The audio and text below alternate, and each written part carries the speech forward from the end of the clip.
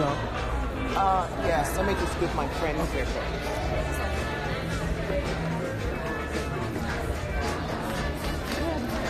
Right here? Yeah.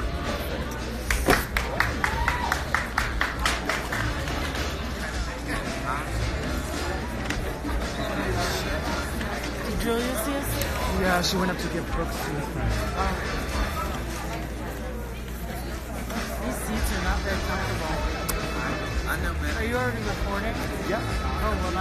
about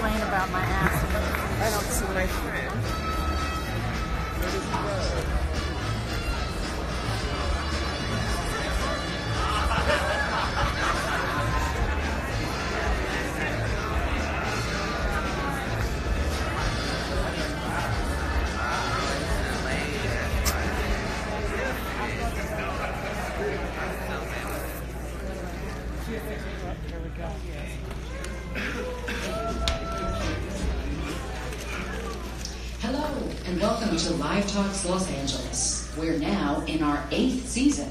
You can see videos of hundreds of our past events on our website, livetalksla.org, and subscribe to our podcast on iTunes. If you're not on our mailing list, please sign up for our weekly newsletter to learn about future events. Please, no flash photography, no videotaping, and won't you please silence your cell phones? We hope you enjoy the show. And now, the founder and executive producer of Live Talks, Ted Habte-Gabr. All right. Good evening. Welcome to another evening at thank you. Welcome to another evening at Live Talks Los Angeles. By a show of hands, how many of you are at our events for the very first time? Wow, welcome. We, we have all of your email addresses. We'll be in touch. We try to do it weekly, but sometimes there's exciting news we want you to find out before everybody else. So, this is the second to last event for our fall season. Uh, we wrap up our season this uh, Wednesday with Daniel Ellsberg, uh, and that's in Santa Monica. So please join us there. And our spring is already loading up with exciting events. We start on January 8th with John Gray on the occasion of the 25th anniversary of his book, Men Are From Venus, Women Are From Mars. Men are from Mars, women are from Venus. Okay. Well, that tells you where, I am. We have a whole lineup of wonderful events, including Amy Tan coming in March, David Frum, David Cay Johnston, um, Michael Shermer. Uh, it's going to be a busy, fun uh, spring, so we want you to stick with us. I don't want to hold you up anymore. You didn't come to see me.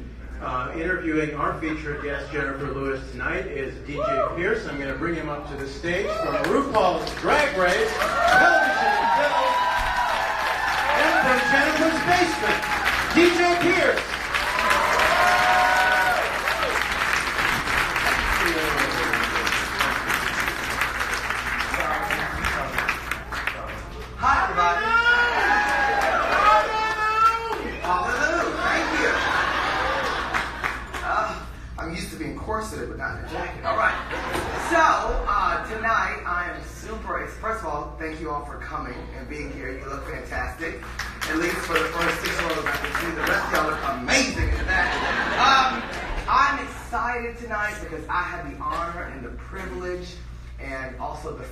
Because she unlocked the basement door for me to come out here and to talk with and have a conversation with one of my favorite people in the entire world. Um, I've been a fan of our special guest tonight for years before we moving to LA, and then by happenstance we happened to meet in New York, and then I moved out to LA. I became her assistant. Then I went on Drag Race, and she said I got too famous to be her assistant. So I don't know. But um, I'm excited tonight because she has a new book out, and we are going to have the best time ever. And one of us will walk out of here and not. I knew it was coming.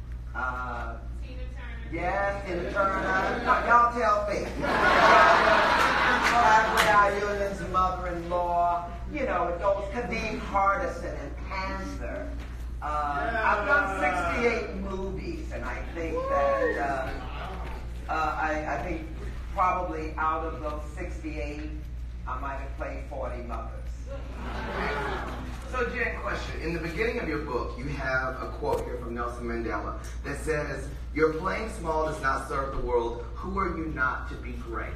You have blessed us by being a great entertainer. But if you were not an entertainer, let's take that out, if you were not that, what would your other profession, what would Jenifer Lewis be doing if she were not Jenifer Lewis?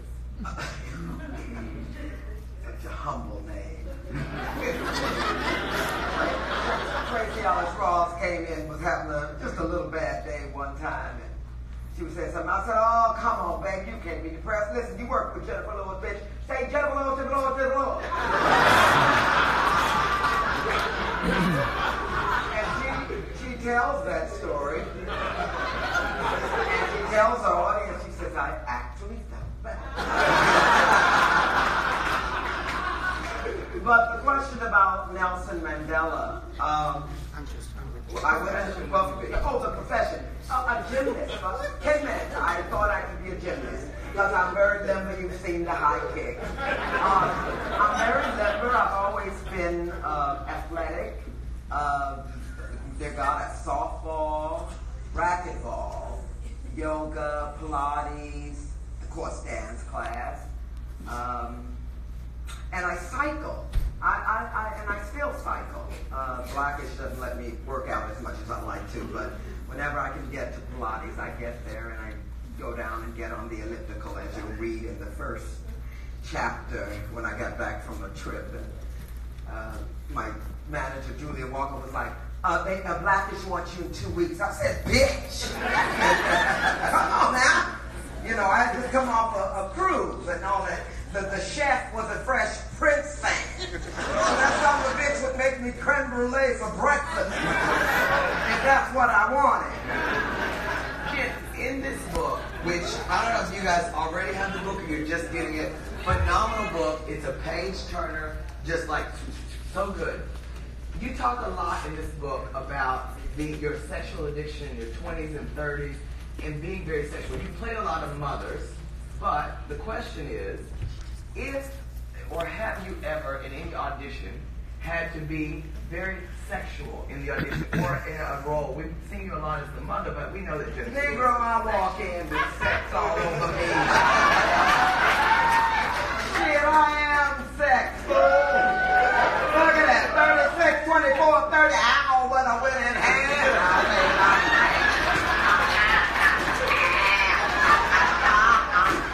You know, uh, the most sexual thing, the most sexual thing that I ever did uh, in my career was uh, in Girl Six. There was a scene that was cut. Yes, there was a scene that was cut. I had to talk to one of the girls wasn't there, so Lil, the boss, was the character I played. she had to take the phone call, and it was a veteran that had lost his legs and arms in Vietnam. A very strange scene. But I had to make him come over the phone. We're all adults. Um, and um, I, you know, and Spike Lee just let me improvise. So in the process of making him come, I came. Um, oh, come, she'll be coming around the mountain. She's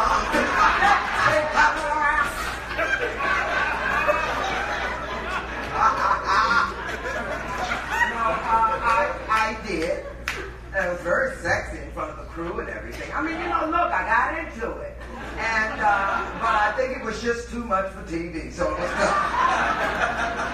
Switching gears just a little bit, you are a very, you know, fabulous and also sexual person, but you also are very spiritual. What I know you because and in your book it talks about a lot about you going to the ocean and waterfalls. What is your attraction to water? Well, you know, I, you know, I, I used to do a lot of spiritual searching, would- and and that, and um, a lot of that was going outside of myself to search for answers. You know, everything from palm readers to face readers to, you know, channelers and crystals and gurus and shit, the butcher, the baker, anything to get a fucking answer. To what I was supposed to do with this massive personality that I have had since I was a child. And um, it was quite the search. But what I came to was, uh, oh, one of the gurus I, I, I did uh, study under said once that um, the highest frequency on the planet is where the water meets the land.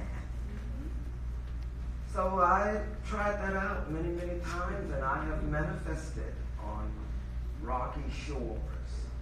Um, I remember it was one of my, and I want you guys to forgive me. Usually I'm a little more up. I'll probably sprite up a little bit, but Diva Simply Singing was last night.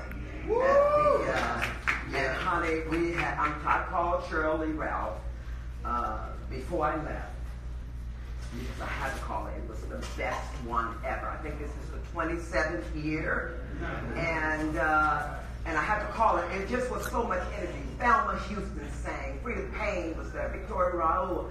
Uh, uh, uh, what's his name? The guy Kenny Lattimore. Ooh, it was just a beautiful uh, time last night, and I carried on like a banshee. And I think I signed 10,000 books. So uh, I'm a little low energy tonight, believe it or not. Um, but what the fuck was the cat question? that was good. That was a nice segue.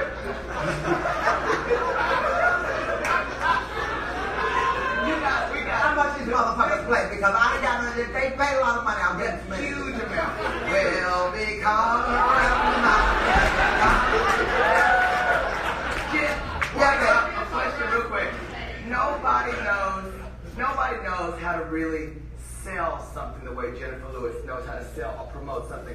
With this book coming out, you had a little song that went viral on the internet. You fools taught me to rap for my book.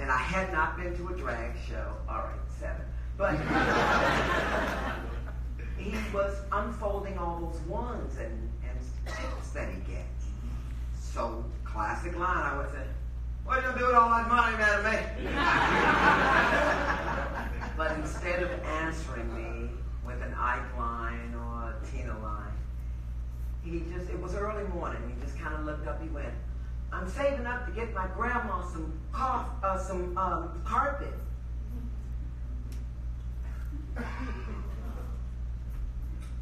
I'm saving up to get my grandma some carpet. I fell in love with him at that moment, and I to let him go.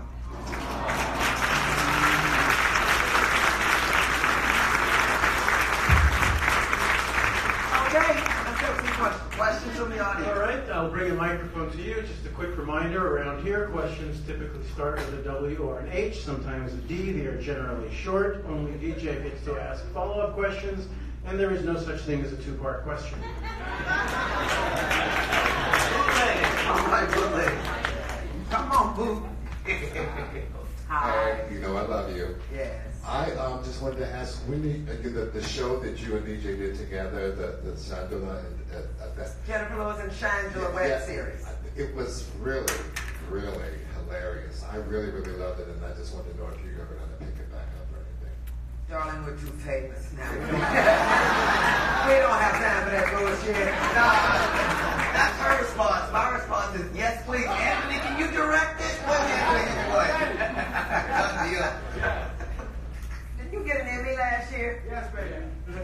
young lady. Come on, get here for me. Let me tell y'all what Anthony uh, Hemingway he was supposed to bring me flowers and, and brought me a watermelon.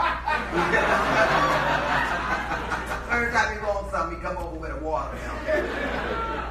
Uh, come on. Uh, Jenifer Lewis, I just want to say thank you so much. You're such an inspiration, especially coming out with bipolar um, diagnosis because it's really rampant in our community. With you coming out, I just want to say thank you. Thank you. Yes. How was that? You went on Oprah and talked about bipolar disorder. I think maybe you were one of the Well, first here's the to thing, talk y'all. about I just wrote a show. So you got to understand, when you're one thing all your life, I didn't know. I said, I was like, Bob, what, bitch? You know, listen.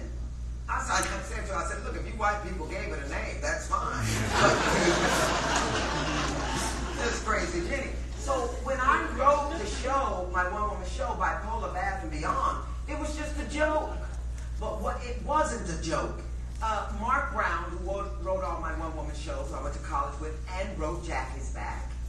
Um, I called him. I, I bought a new house. I was on a manic, I was having a manic episode. You have to go, I'm not going to go into that story, but uh, go to the Oprah interview and you'll see the Pope had just died. I couldn't get out of Rome and I missed four days on my medication. So when I got back, I saw this big house in my neighborhood. I went, I'll take it. But anyway, you know, but just you, you, you, you go, go, you spend, you drive fast, you talk fast, you know, you're rude, you're rageful. When you're in a hurry, you're rude. You're gonna be rude to somebody. So leave a little early. And and when in therapy you learn those, no listen, you learn those tools. If I find myself speeding, I pull over and I go, Jenny, what's wrong? You have to pay attention to yourself and others. You know, I was called a nigger. No, no, yeah, just relax. Listen, listen, listen, listen. An old white woman called me a nigger about a month ago in a store. And that's, let me tell the story. I know it's disgusting. But she was, of course, she was nuts. So, but I, my daughter was with me. And I thought she was kidding around. You know, I'm all joyful and carrying on in a boutique. A boutique that, well, you see. So, so I, I looked at her and I said, You're kidding, right? Just she was saying she was left with Trump or something. You know, it's just nuts. But it was I was with my daughter. So she said it again. She said, it's a, this is the nigger stuff, right? I mean, I, I know she was, I don't know what the fuck was wrong. But I wished I could have just walked away, at least in front of my daughter. So what I did, because I knew if I'd heard her say it a third time,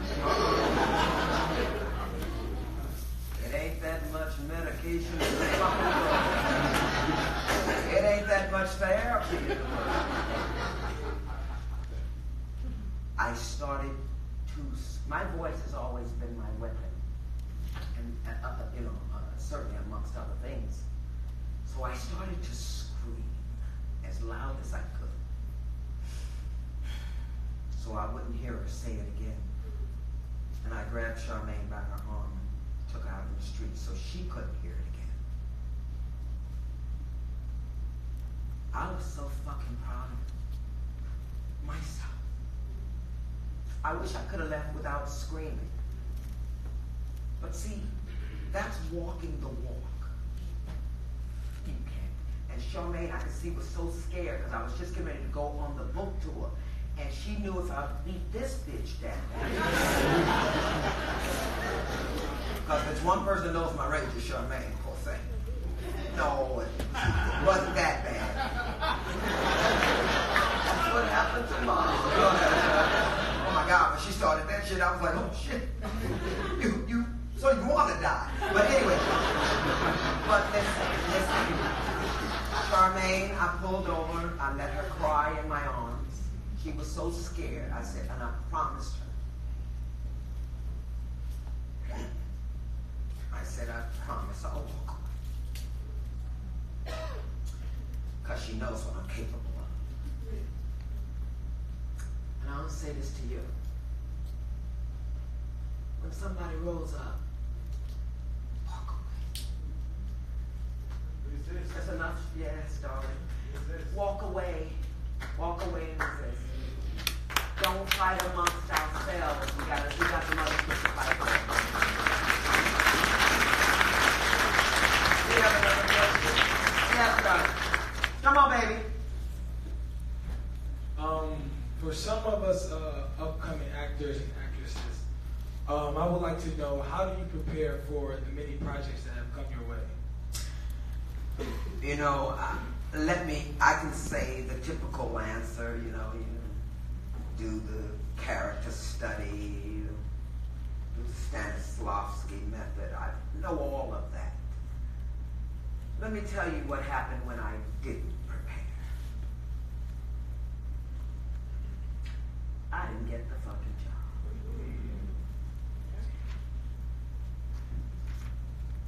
Because I'm a natural, sometimes I think I can just walk in the room. Hmm.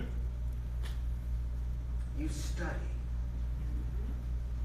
You get in there, you got to go to the internet and look up what Stanislavski is. You get your ass in classes. I continued my education after college. Voice lessons, dance classes. And what I, what I hadn't done was study for the camera. And see all that big shit I would do for the theater. That, shit didn't work for the camera. You had to know who you were in order to, cre- to create another character. You see? And I didn't. I was all hot air. Cute, talented, yes. I know what the fuck I was doing. Still cute and talented. I know Yes. that. Oh, but I don't need no more calls tonight. Don't be presenting my ass. This motherfucker. That's my baby.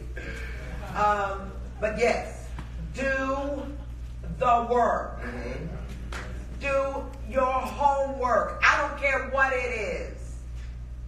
The worst cussing I think I've ever gotten from Jenifer Lewis. Because I live in the house, sometimes I get to the advantage of being able to say, "Can you, um, you know, sad eyes? I don't have anyone to read for this audition with me. Would you please read with me?" And she'll be like, "But if I have not rehearsed, someone who can call it out in five seconds, or when you feel like you've done it, do more." I tell them, I said, go downstairs and go downstairs and learn it. Don't come up here with the bullshit. I don't have time for that. And yes, I do coach him. And has he become me? Is he little Eve Erickson? but DJ has permission. Got to pass the torch somewhere. Do we have maybe one or two questions? Come on. Or one or two more? Yes, love. Just a quick one. Oh, oh, okay, we'll get that one next. I'm sorry, I saw you. Oh, no, the mic's back there. What is it, darling? Um, you once talked about um, being in the outhouse, and a lot of us connect with you because we are people who are not from here, not from LA, not from Hollywood, and we are just from like where you are. You talked about being in the outhouse, and you talked about the sex, the stairway to a success, uh, the elevator to success. It's is broken. Take the stairs. Yes. And so I wanted to know what is your mantra? What do you say to yourself being in a culture that you're not probably used to when you first started out? What did you say to yourself to keep yourself going? Go get him, Tiger.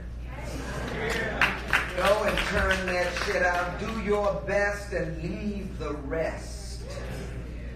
Oh, honey, I went into a room like a tsunami. But it didn't matter when I didn't know who I was. Yeah. You understand? You got to go in with something in your soul, in your heart, in your soul.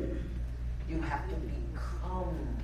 If it doesn't serve the moment, then leave it outside the door. Serve the moment. Don't go in those rooms trying to make friends with the cast and carrying on. You carry your ass in there in character and do your job. They are looking for somebody to do that job. Yes, so the question is, we're going to take it. Yes. Sorry, I got a question for you. I love you for a long time, but I just wanted to know out of all the characters you played, what was your most challenging role that we have in, that we don't know about? Most challenging. I always tell people, what's love got to do with it? It was very easy for me because I was in love and I had no fear in me. And the woman I was creating was from St. Louis, so I knew her so well. And I met Tina Turner's mama in a vitamin store. It's in the, it's in the book. And, and she turned out, I was kind of scared to say hello because you know how I betrayed her. But I knew her. Tina looks just like her. She was so beautiful. And uh, she, she uh, hugged me, and then she pulled back from me, and her eyes were watery. And this is what she said. She said, "Mm." She said, I wanted to be so dressed up when I met you. Anyway, so, uh, And how did she take you, your performance? Has she seen it? oh yeah, absolutely. She pulled out of mine, but I ran.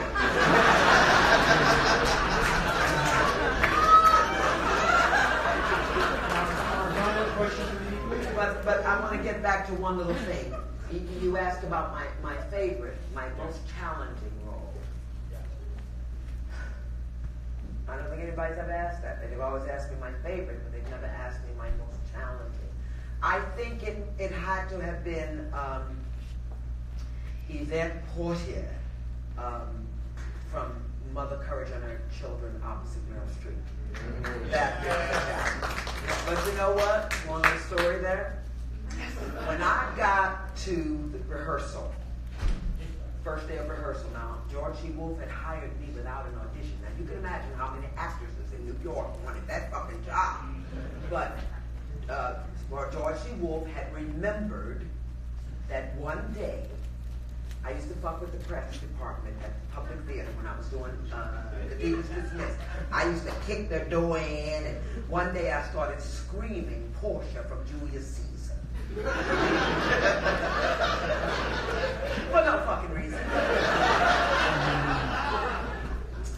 so, fast forward 25 years later, however, 15 I think it was, it's in the book.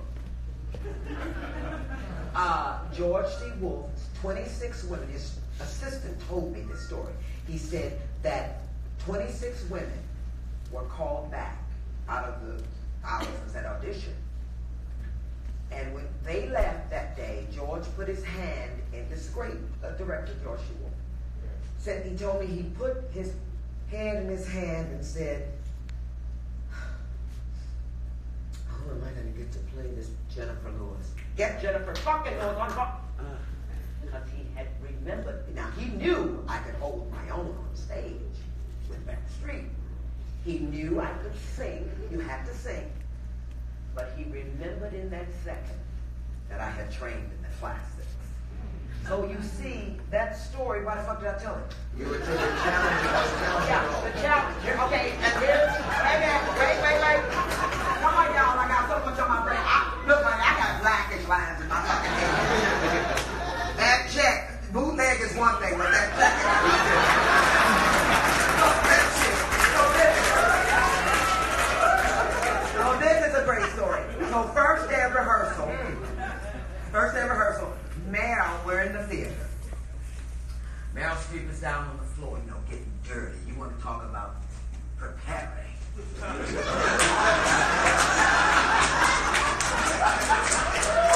bitch was prepared.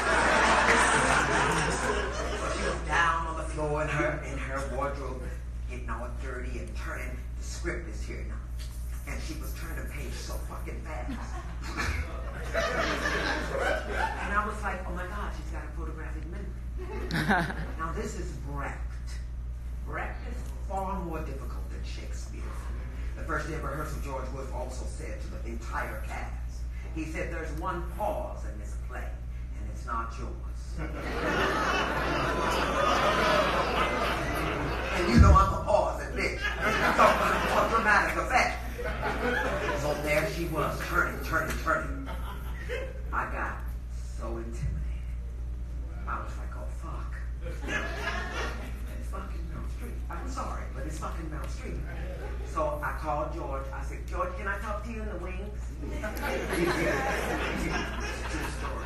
I got back to Ray. I went, George, George, George. Because I had been on strong medicine for six years. I hadn't done theater in so long. I mean, I had showed up thinking that was craft service.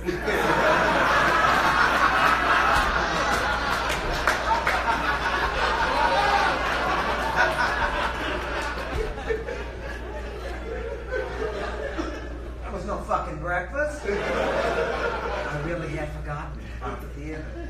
And I, but I did wake up that morning. I said, Jenny, I'll get back to George. But I, wo- I woke up that morning. I said, Jenny, you're back in New York. Get on the train and go down to the public theater. Biggest goddamn mistake of my life. First of all, I was mobbed. Okay, I was. But, but I missed my stop and went all the way, had to go all the way to Brooklyn. So the great Jenifer fucking Lewis was late for Meryl Streep. Uh, Christopher Walken was doing the role. It was later recast with Kevin Kline. George C. Wolfe, Tony Kushner, the motherfuckers. And here I come, door all loud and shit. And all of them did just like this. They had they were doing this table read. They went.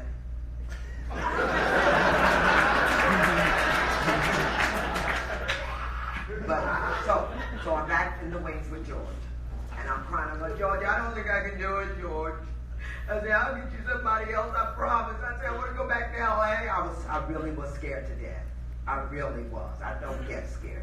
And you want to talk about a challenge. And George C. Wolfe, you asked me you know, who shaped dead or alive. This moment was a great moment in my life. Because he didn't patronize me.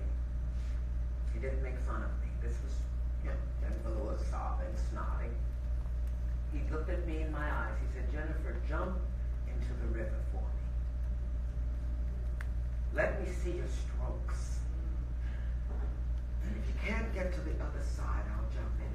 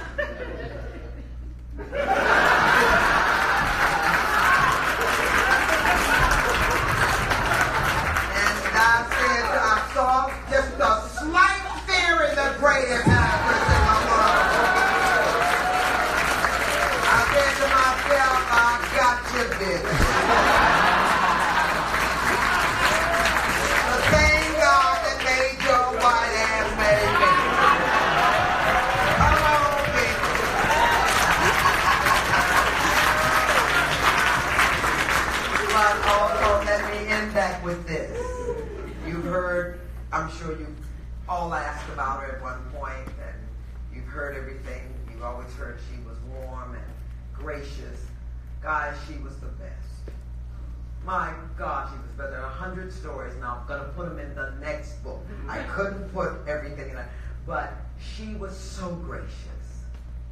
You know, we would ride our bikes through Central Park. They hated that we were on bikes. They'd be like, what the fuck, where are they going? but Meryl was just a free spirit, and we'd go over to the boathouse, we'd go here and there. And, uh, And how do we pronounce her name? Oh, I can't go into that. You read the book. Oh, okay, I'll give it to you.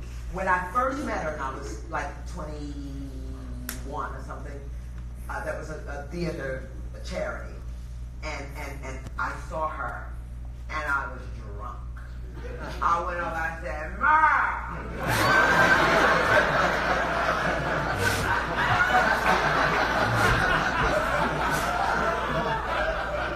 Mind you, I did not remind her of this shit when I. I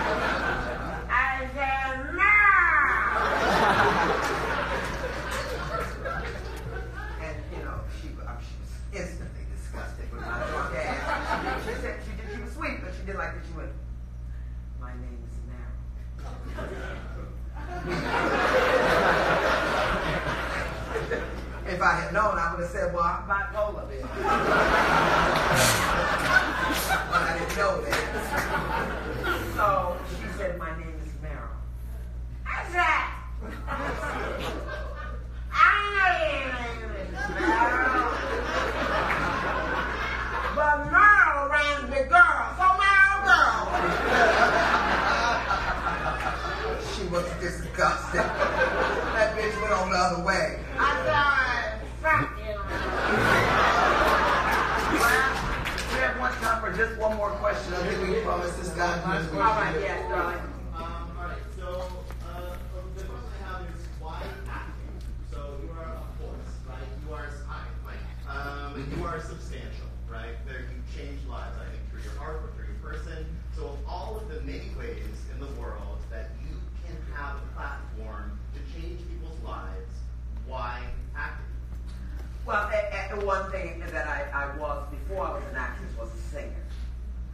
Singers, real singers, are actors. You have, you, you, there's no difference when you own a song. You own a song. I learned a lot of that from Bette Midler. Uh, how to just be still and sing about it of all this dumb shit. just stand your ass there. She would stand there. She go, look at my face. I know the years are short. Look in my eyes. You know, whatever it was, she would just stand there. And honey, let me tell you something. When I work with the greats, it will be Goldbergs, Denzels, the Meryls, the Sharon Stones, the Bette I pay the fuck attention. I, I, I, I do want to know very quickly. I just would thank you so much. Yeah, no, I never leave a man behind. Right? Okay. Do you have anything to say about what is going on right now with the assaults, the um, the light that's being shed? I can I can only imagine that this is this Okay. is your industry. This is Yes. I'd love to hear just two sentences. Let me speak to that. Gladly. You will read in the book that I was molested by the minister of my church. You will read in the book that a young man who was pretending to deliver a package put a knife to my throat. You will read in the book that I had a sexual addiction. I want you to go to YouTube. I want you to look at these new uh, uh, interviews that I've done about trauma, about the sex uh, scandal, and it's not even a scandal. It's some shit we have had to, should have been dealing with from the dawn of time. Um, but let me say this: yes, I am speaking out loudly about it. I'm so glad that the book came out at this time. I'm glad that I did it, you know, that it's there. So listen. I said this on The View. There's one thing to be sexual. There's another one, another thing to be evil. I say in my book, guys, we are as sick as our secrets. Hmm. Somebody fuck with you, I don't care in what way, and it is inappropriate. Your children. You tell your children, and if some shit happens to them, to tell. Tell somebody.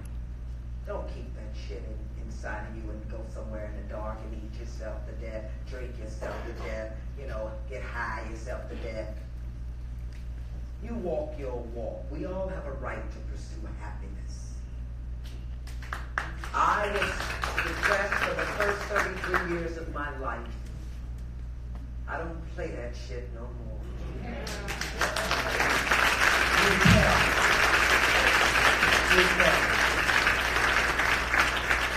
We done? Thanks a lot. Thanks.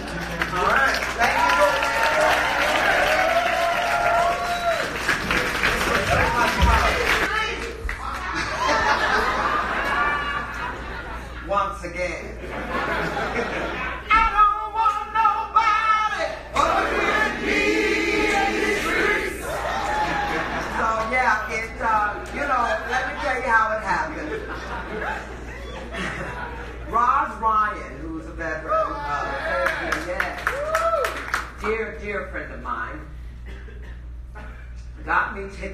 Chicago.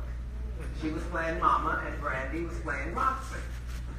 Now, the three of us are fans of each other, of course.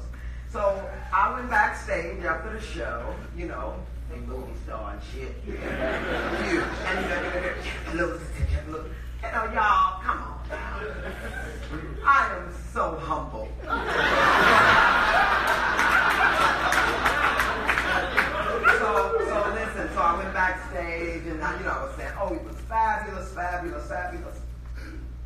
And I said to Roz and Brandon, I said, why don't you guys come to dinner? I didn't mean it.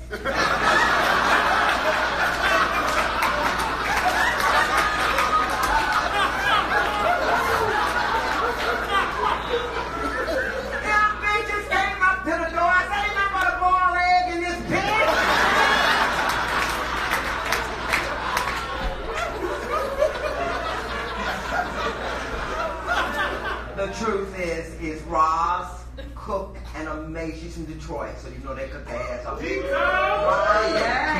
Roz cooked uh, uh, uh, uh, salmon, corn, and zucchini that night. It was, I'm telling you, Roz cooked her ass off. She actually cooked uh, the Thanksgiving after my mother passed away, and she, it, it, it, the food was so good. But then she took out a turkey bone, and my mother used to always give me that turkey bone. Baby, I hit the floor and carried on and Roz right after, because you know, baby, we're in show business. You got to keep a sense of humor. I don't give a fuck what happened. But here's what she looked at uh, uh, my daughter and DJ and all of them. She went, "Don't get that bitch no more turkey."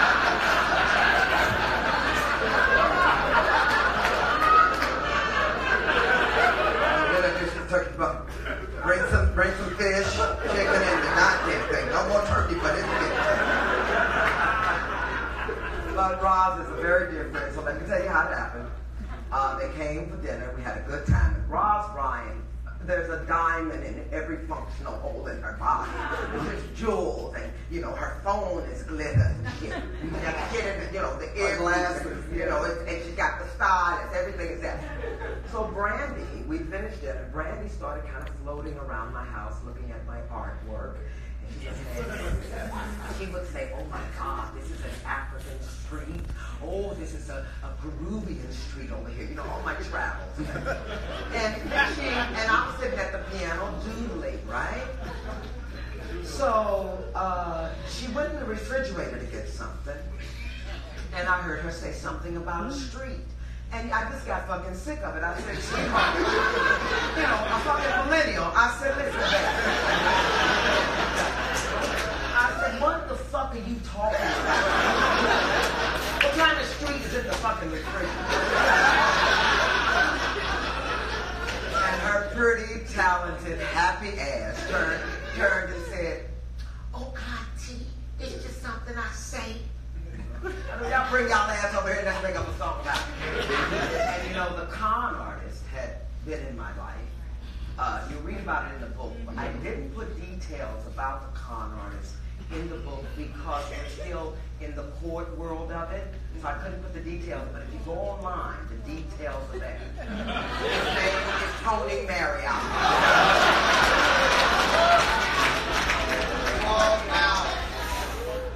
So that motherfucker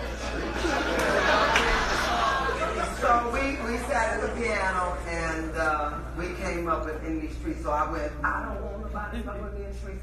But that was not only about the con artists, but it was mostly about how the children had laid down in front of the police barricades. And I was so proud of them. You know the millennials. and then the motherfuckers woke up and went, at 30 and went, where's my childhood? you know, and you still gonna take care of me, right? You know, bitch, get the fuck out.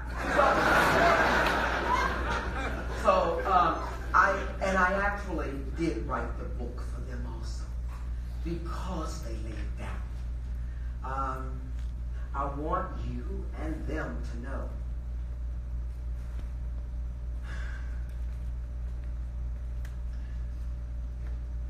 There is no fire you cannot walk through. You must feel the fear and do it anyway. Life, life is coming. Phone's gonna ring. Somebody's gonna have done something. Accident, somebody you love's gone, something's coming. Tsunami, hurricane. I was in an earthquake at the Northridge. Had to kick down seven doors to pull people out. Yeah, you talked about that. What, what was what, what training did you have in order? to Well, I studied karate in my 20s. he knows. He's read the book. I, he came upstairs. I said, "You finished the book?" He went, "Well," and I said, "Negro." Finish. so he knows every nook and cranny of it. But um, yeah, the night of the Northridge, I literally had a molecular cell memory because I had studied that.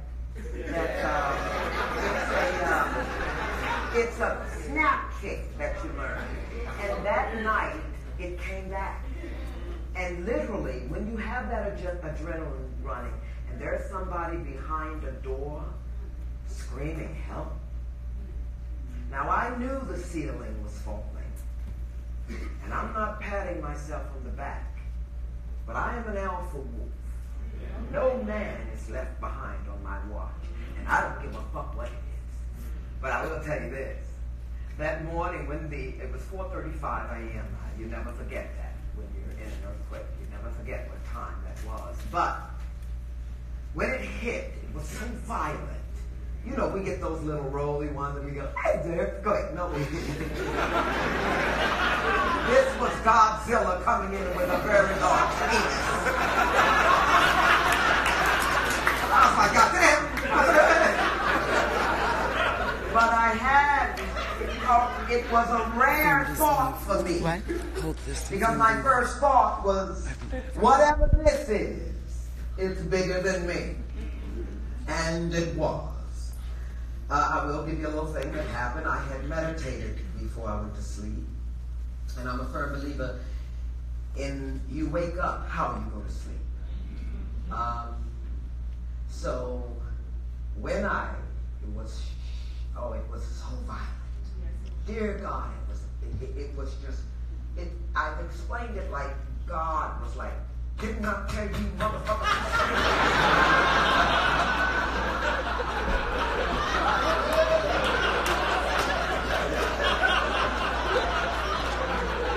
Look, I just, I slept with 60 men, not a thousand.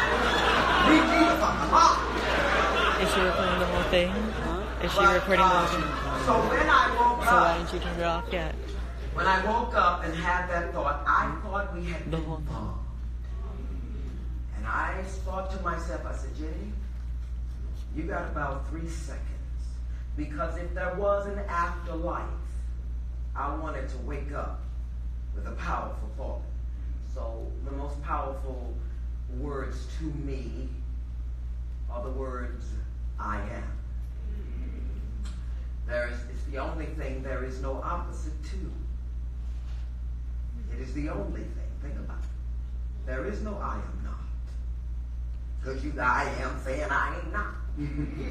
but anyway, that's my shit. Uh, yes. Quick question for you. So, I told him to keep me on point because I saw one story. But let me finish my question. Okay, go for it. Now, and I'm, this last thing I'm going to give you because you can read it in the book, but I'm going to give you something that I don't think I put in the book. I woke up with the study of yoga. You learn to surrender. Somebody comes up behind you all with that tight shit, honey, go limp. They can't do nothing with a dead body. So go limp. Somebody come at you, you know you can't beat that, go limp.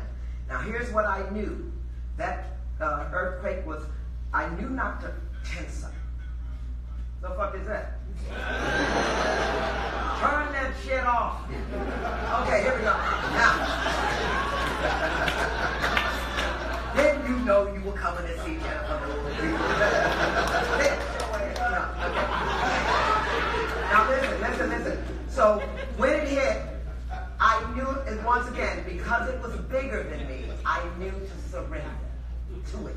So I let it throw me. I let it toss me and fling me, and I went limp. Because here's the example: if you have a very um, starched shirt, and you take a very sharp, sharp knife and go like this, the knife goes straight through.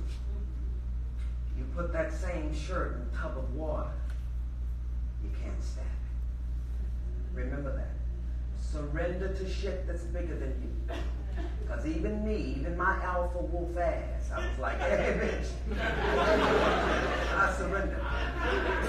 In the book, in the book, Jen, you talk about just about being an alpha wolf and having a tunnel vision for your dreams. Mm. But along the way, you were helped out. You mentioned some teachers you were helped out by, people who stood in your corner. Was there anyone either that you named or did not name in the book that really helped Jenifer Lewis stay focused before she left and became a huge star? Guys, there were many people who took me under their wings. You know, though I was bipolar and was all over the place. I mean, even as a child, it was here comes crazy Jenny. I, I wore it like a medal. Shit, I had a word in front of my name. Nobody else did. Crazy Jenny. So, that shit changed, didn't it? To fabulous Jenny. Anyway, uh, red lips for my book. I need to go pee. Where's the bathroom? But guys, there were so many.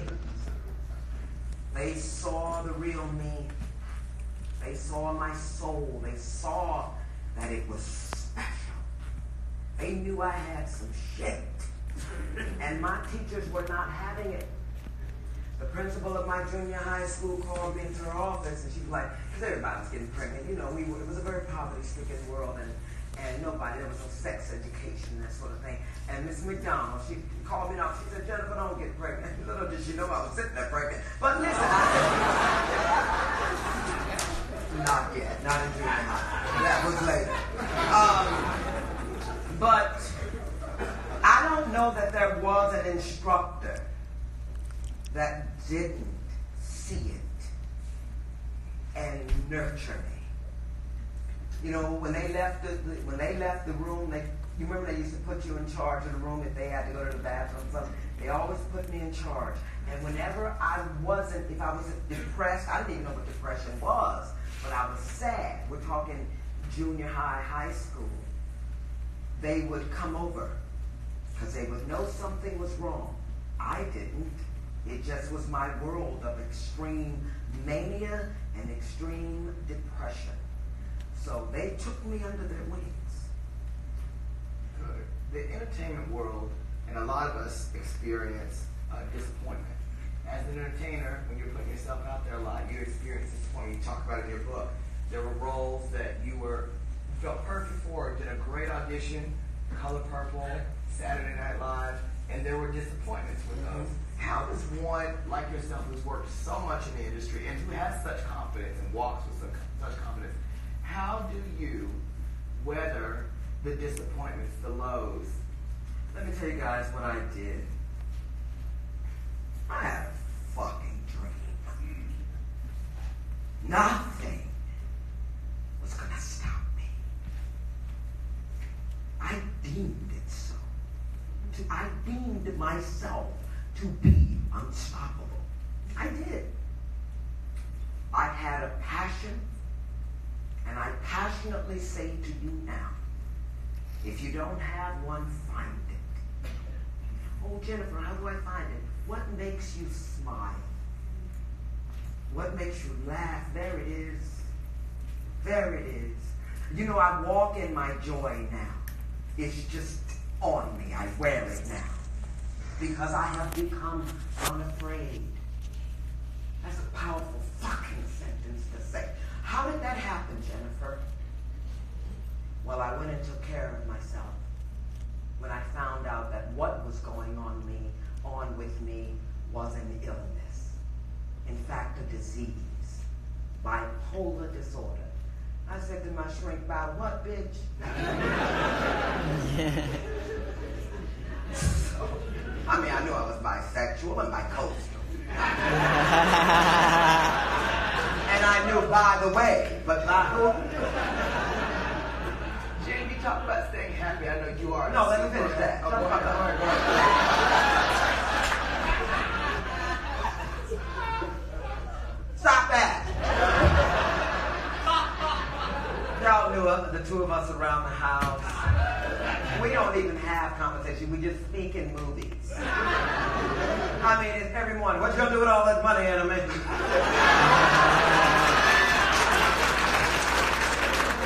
Pearls are tight around my neck.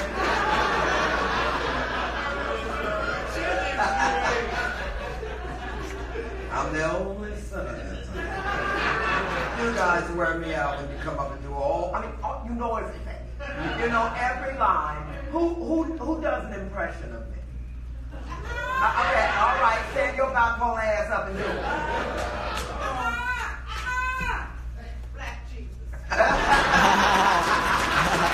Come on, one more. Come on. Wait a minute, this white girl, up, girl.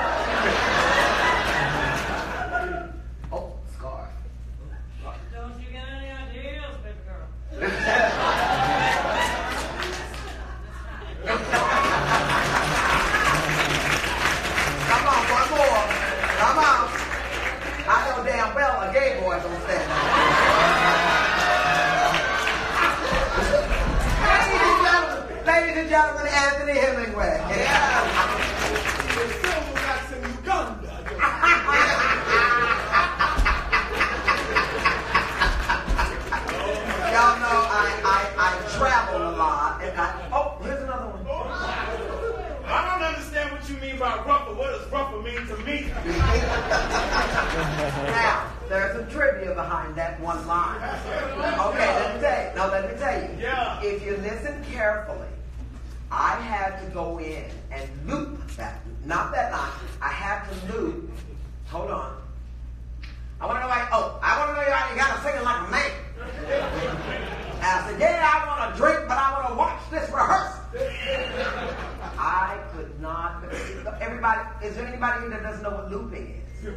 Yeah, you have to go in and drop your your performance into your mouth moving, in, you know. But and that was so fast. And like, hey, I want to drink, but I want to watch this rehearsal. I want to know I got sing it like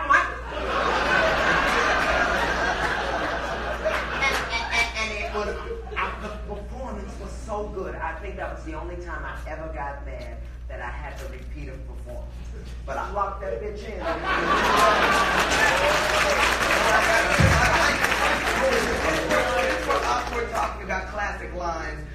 think any performance has more classic lines than the cult classic Jackie's Back.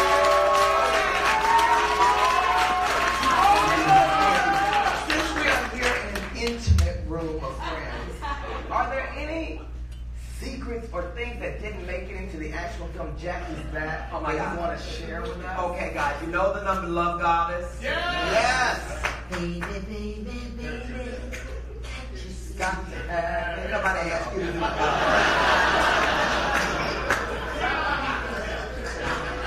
I volunteered. Now you know I'm gonna call your ass out by five and shut the fuck up. so I can get through this shit. Carry my ass home. I'm in every scene tomorrow. I was like, "God, y'all, did y'all know I had a book signing? They didn't get. Job Black-ish is a machine, let me tell you, and it doesn't stop, y'all. It is, I want to tell you, it is an amazing job. It, it, has become the cherry on top of my career. And to work with Kenya Barris, Tracee Ellis Ross, uh, Anthony Anderson, and Laurence Fishburne, for Christ's sake. You know, listen, Ike Turner. I have to, I Turner. Hello, Ike.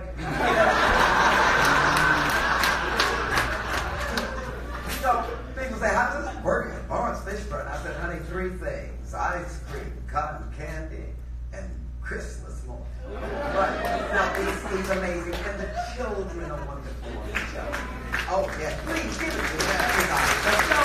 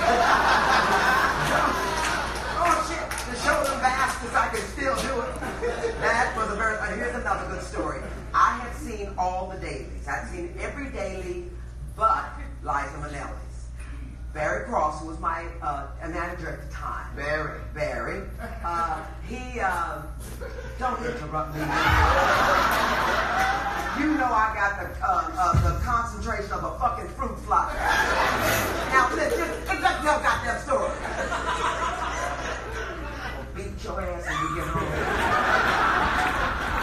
This motherfucker been living with me for nine years. And if he leaves, I'll kill him. He's fine. So why'd you put on the glasses, DJ? Because you wouldn't hit a man with glasses, Jenifer. Alright, so listen. So what the fuck am I?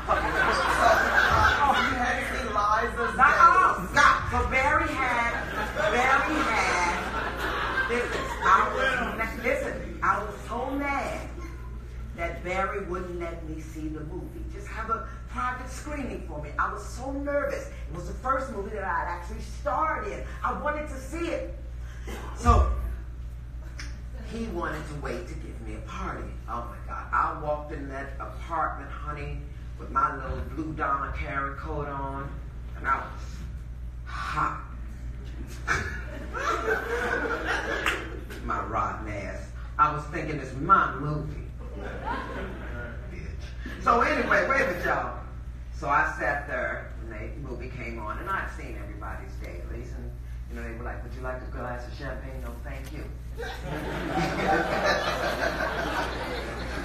Lewis, Miss would you like me to take your cup? No, thank you.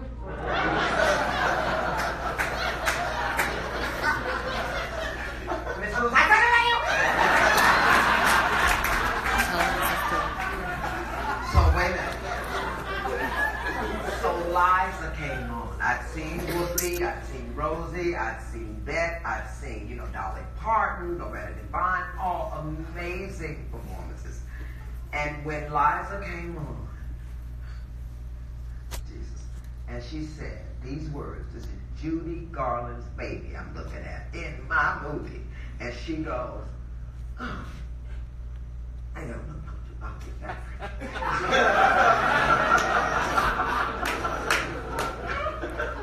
I stood up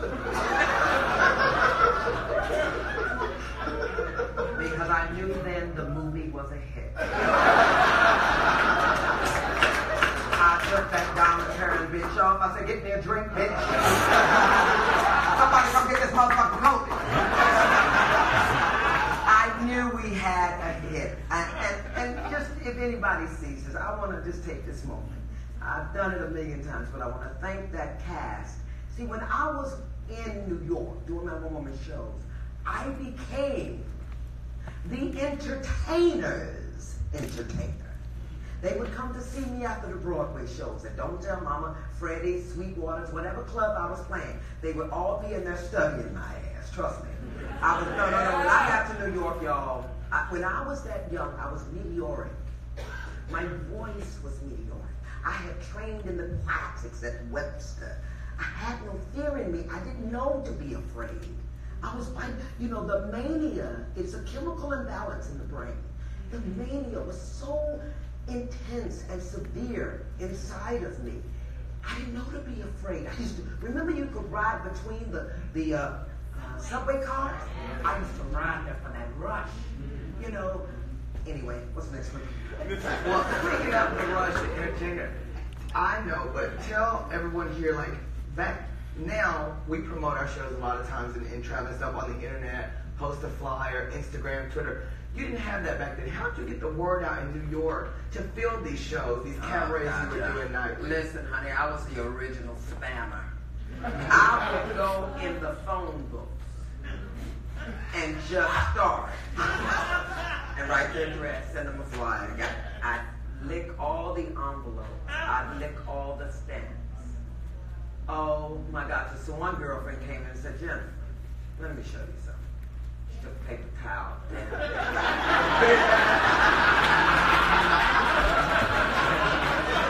I'd be sitting there like this.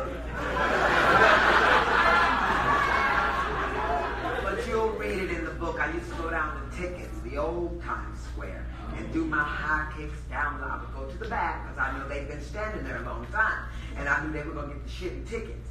So I said, oh, yeah, go to such old Broadway. So you see me. I'm right down the street. Honey, at my uh, 9 o'clock shows, it would be full of tourists. Of course, I would threaten lives, but that was Jen, you came so far, and you've come so far in your career. A lot of people that you've started with, we read in the book, you know, Loretta Devine, you've had lifelong friends who are still friends now.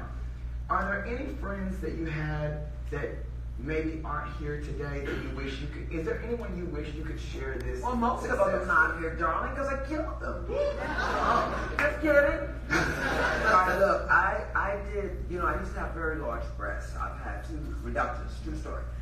And I know that my fatty tissue is probably in some white women's lip. no, no, please stay with me. No, no, no,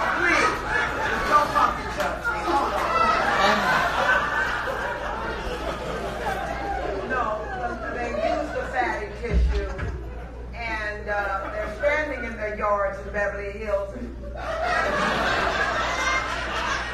and they're wondering why they're singing Ethel Merman songs. Oh, bastards. I told that doctor to, to, to put my fatty tissue away because, let me stop here. Because just be aware that I have all the videos from the breast reduction where they put Jenifer under the anesthesia before she actually fell asleep. So I have some great videos. Wait, tell them about. Let's roll them. Wait, no, no, no, no, no, no, no. Tell them about when I was uh, uh, uh, drugged, uh, recovering at that place, and, and the nurse came in. Oh, Lynn. Okay. Lynn, Lynn. Quick story. So Jenifer goes to a very private and and They all know I'm rich. uh, recovery. so she's Oh, yeah. there, and the only stations though on the cable were like National Geographic, and Jen loves National Geographic anyway. So she's watching this channel, and all these like lions and different cats are like clawing and eat each other, and she tells the nurse, "Lynn, come here, Lynn, come here. Now look right there, baby." That's you, Lynn.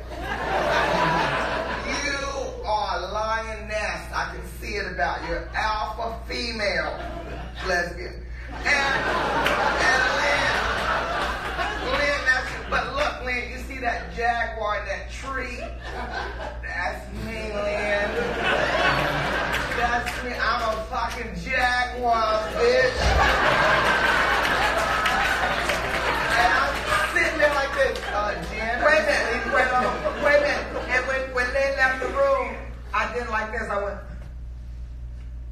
DJ, Yes. Please don't let Lynn touch my pussy. I.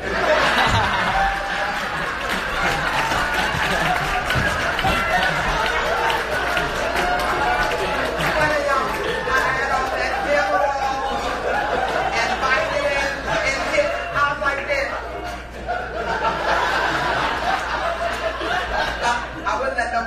DJ in the room got slobbering and shit. I said, I said, Dave.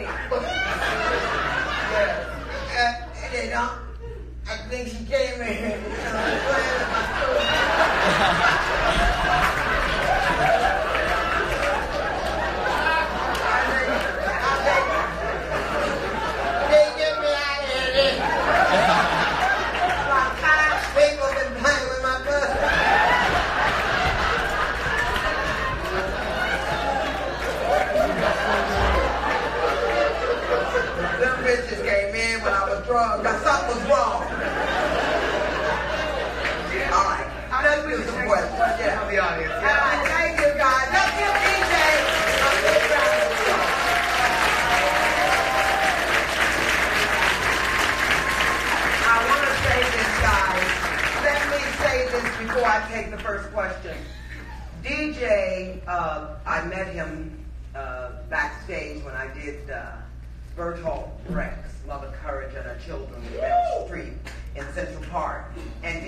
Came backstage like, I'm your biggest fan. I said, nigga, I ain't got time for the bullshit. So, I said, sit your ass down while I take all this makeup off my face. So, you know, it was enough about me. I know I seem full of myself. I certainly am not sometimes. Anyway, um, listen, uh, I told DJ, I said, tell me about you. And I'm taking off my makeup. And he said, I just graduated from college and